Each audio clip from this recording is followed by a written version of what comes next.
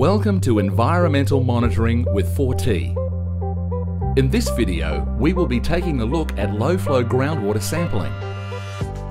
At 4T Consultants, we pride ourselves on collecting all environmental samples to the relevant Australian standards.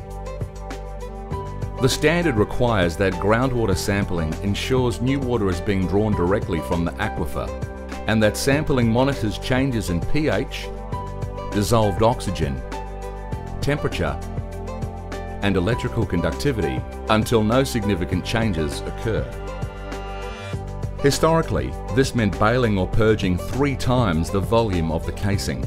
This high volume purge sampling results in large volumes of water being removed from the casing prior to collecting a sample. This wastes a valuable resource, may create an on-site problem with disposal of purged water and takes more time and effort, especially bailing, than low flow sampling.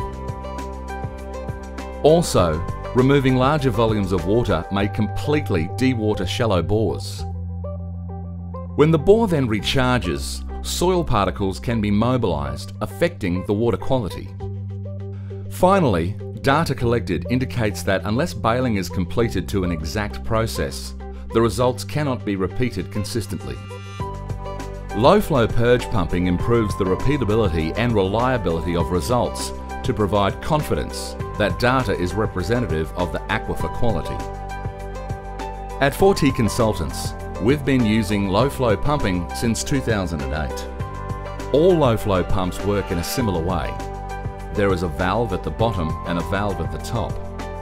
When there is no air pressure applied, the top valve closes and the bore water is able to push the bottom pump valve open. Water then flows into the pump, filling the chamber. When air pressure is applied, the valve at the bottom closes and the water pushes out of the top valve. A bladder can be used to prevent the air from mixing with the sample water.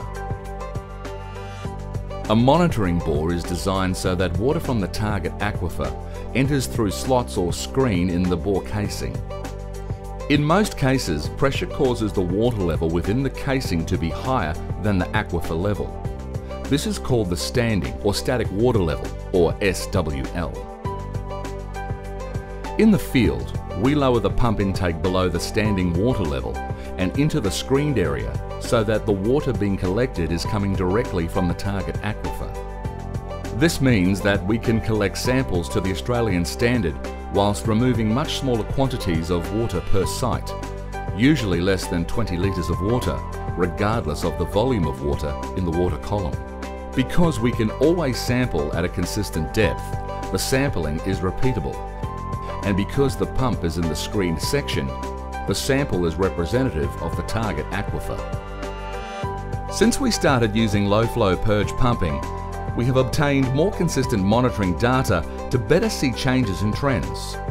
Decrease the amount of water removed from casings prior to collecting a sample.